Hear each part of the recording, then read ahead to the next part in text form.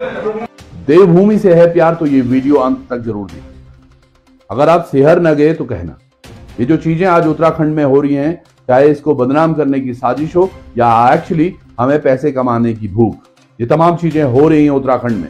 एक वर्ष हो चुका है अंकिता भंडारी के प्रकरण को, क्योंकि अब अब तक भी उसको न्याय नहीं मिला, और बात हुई थी वनंतारा रिसोर्ट, एक रिसोर्ट जिसमें ये सब कृत्य रचा गया, खेला गया, तमाम चीज़ें हुई।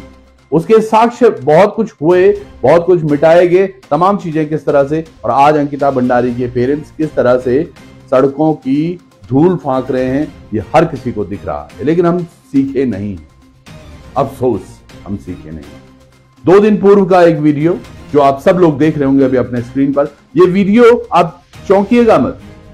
ये वीडियो भी लक्ष्मण झूला थाना अंतर्गत ही है।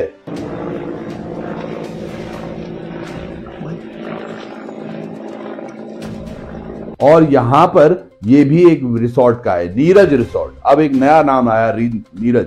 नीरज हो, वनंतारा हो एबीसी हो सीबीजी हो। ये सभी लोग एक ही में मानसिकता रख रहे हैं। इन्हें कोई मतलब नहीं है, उत्तराखंड क्या नाम है, क्या देवभूमि क्या नाम है, कुछ नहीं। बस इन्हें कमाने हैं पैसे और उसके लिए चाहे कुछ भी करना पड़े। यहाँ पर तेईस तारीख की रात को छापा पड़ा और 35 लोग जो कसीनो खेल रहे थे। तमाम चीज़ें हो रही थी और पाँच महिलाएँ भी गिरफ़्तार की आप समझिएगा बाकी क्या कुछ हो रहा था वहाँ और यह हो रहा था हमारे आँख के नीचे उसी जगह, या उसी के आसपास, उसी थाने, थाना, थाने के अंतर्गत है तो यानी कि बहुत बड़ी सीमा नहीं है ये। भोगपुर के आसपास का ये कहीं का वीडियो है, जहाँ ये नीरज रिसोर्ट बना हुआ और ऐसे कितने रिसोर्ट पल रहे हैं, फूल रहे हैं, फल रहे हैं ये आम आदमी को पता ही नहीं। हम बस घर में बैठकर ऐसे कुछ वीडियोस देखते हैं जिसपे हम बात करते हैं, ओह यार, बहुत बुरा हो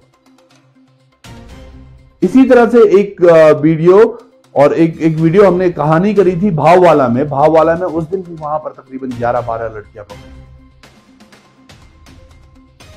वो छोड़ दी गई। रात भर उनका पता नहीं चला। वहाँ से कुछ कैश बरामद हुआ। वो रिसोर्ट सीज है, नहीं है, वहाँ क्या चल रहा है, कुछ पता नहीं। ये नीरज रिसोर्ट, ये सीज होगा, नहीं होगा, क्या होगा, कुछ पता नहीं। वन अंतारा में क्या कुछ हुआ, हम सब लोगों ने देखा। ऐसे कितने वन अंतारा हैं, उत्तराखंड में, जो धूमिल कर रहे हैं यहाँ की। बड़ी, उस टाइम तो बड़ी इन्होंने छापेमारी की यहाँ छापा मारा, वहाँ छापा मारा, वहाँ छापा मारा, फिर हुआ क्या? धाक के तीन पात। मैं ये समझने की कोशिश कर रहा हूँ, इसमें लालच किसका है? हमारे व्यक्तियों का भी ज़रूर है, जो ये ऋषिकेश में अगर ये लोग बसे हैं चाहे ये बाहर के भी हैं, अगर ये वहाँ पर बसे हैं तो यानी कि जमीनें किसी ना किसी ने तो बेची है उनकी। हम बात करते हैं भू कानून की, तमाम चीज़ों की। पर पहले शायद अपने अंदर देखना बंद कर दिया है हमने, झांकना बंद कर दिया है। और ये नीरज रिसोर्ट में ऐसा नहीं कि पहली बार हुआ होगा। कितनी बार हुआ होगा? और ऐसे मुझे अफसोस के साथ कहना पड़ रहा है, पता नहीं कितनी अंकिताएँ गई होंगी। कितनी। मैं सल्ट की एक वीडियो देख रहा, सल्ट में कुछ बच्चियाँ गायब हैं। हमारे उत्तराखंड में पिछले सालों में कितना कुछ हुआ है, कितनी घटनाएँ हैं, कितने केस दर्ज हैं, तमाम चीज़ें हो रही हैं। यहाँ पर कोई इस बात को सीरियसली लेने के लिए तैयार नहीं है। या अगर तैयार भी है तो पता नहीं क्या कार्रवाई हो रही है कि वाकई उत्तराखंड से एक बड़ा नंबर ह्यूमन ट्रैफिकिंग का भी हो रहा है। आप अभी गूगल पर सर्च कर लो ह्यूमन ट्रैफिकिंग इन इंडिया आपको शायद उत्तराखंड टॉप लिस्ट में दिखेगा। नंबर वन पे था, पिछली बार जब हमने देखा था। ये हो क्या रहा है? बातें बड़ी बड़ी और काम बिल्कुल ऐसे।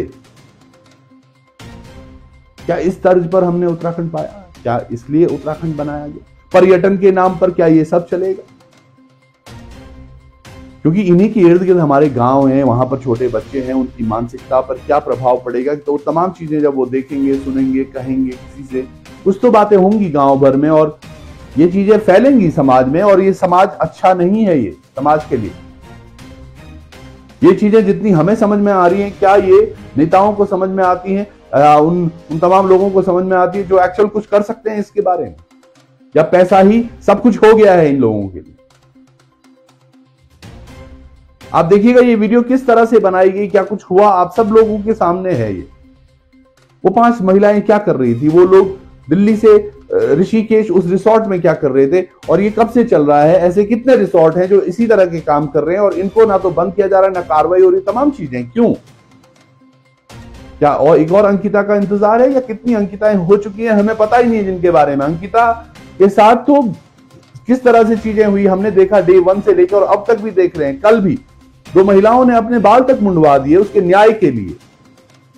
अब कई लोगों ने उसको पॉलिटिकल एंगल से देखना शुरू किया है।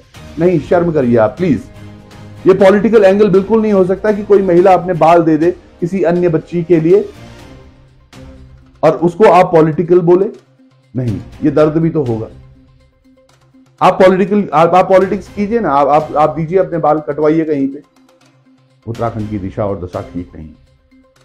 जिम्मेदार हम लोग भी बराबर हैं आप और हम। या तो हम आवाज़ उठाना नहीं जान रहे हैं या तो आम व्यक्ति यहाँ पर जो बात कर रहा है वो बात कुछ करता है और अर्थ कुछ और निकालता है और मतलब कुछ और होता है। ये चीज़ें भी हो रही हैं। और जब तक ये होता रहेगा, अफसोस उत्तराखंड में कुछ इसी तरह से चीज़ें होती है। तमाम यहाँ पर स्पा सेंटर में क्या कुछ हो रहा है? हर दिन एक खबर नहीं होती है। हम तो डालते भी नहीं है ऐसी खबरें। आज ये खबर डालने का मेन मकसद यही था कि हम उत्तराखंड की जनता को कुछ बता पाए। और अभी भी अगर आपने ये शेयर नहीं किया तो प्लीज़ इसको शेयर कीजिएगा, समझिएगा। ये चीज़ें जा कहा रही हैं? आपको ये वीकेंड मिला है, दो हफ़्ते, ये ये सैटरडे संडे इसको समझिएगा, ये चीज़ें हो क्या रही हैं? ये उत्तराखंड जा किस दिशा में रहा है? क्या हम और आप घर पर क्योंकि आपके बच्चे, हमारे बच्चे कल ये बाहर निकलेंगे इसी बाज़ार में। इन्हीं इन्हीं मार्केट प्लेसेस में, ऋषिकेश, हरिद्वार, देहरादून, मसूरी, श्रीनगर, रुद्रप्रयाग, बागेश्वर, चंपावत, अल्मोड़ा, इन्हीं बाजारों में हमारे बच्चे भी कल घूमेंगे। उन पर प्रभाव नहीं पड़ेगा। या जब तक हमारे घर पर कुछ नहीं होता, हम चुप रहेंगे। या यही अगर समझा है तो यही ठीक है भैया। बहुत बुरे हाल हैं, अभी भी समझ लें। हम सब लोगों को संभलना होगा और इस तरह की जो चीज़ें हो रही हैं, इस पर यकीनन कार्रवाई कड़ी से कड़ी होनी चाहिए और हम एक बार ज़रूर जाएँगे, पता करेंगे कि क्या कुछ हो रहा था नीरज रिसोर्ट में और ऐसे कितने रिसोर्ट हैं जो जंगलों के बीचों बीच बनाए गए वो भाव वाला वाला कितना अंदर था क्यों बनाया गया पता नहीं। यानी कि मानसिकता पहले से ही डिवेलप है भी, यहाँ पे ये काम होने हैं। तो सोचिएगा, और इनको पनपा कौन रहा है? कौन नेता इनको पनपा रहा है? कौन अधिकारी पनपा रहे हैं? किस तरह से ये हो रहा है? इसके बारे में भी जाँच करनी बहुत ज़रूरी नहीं तो ये बर्बाद हो जाएगा।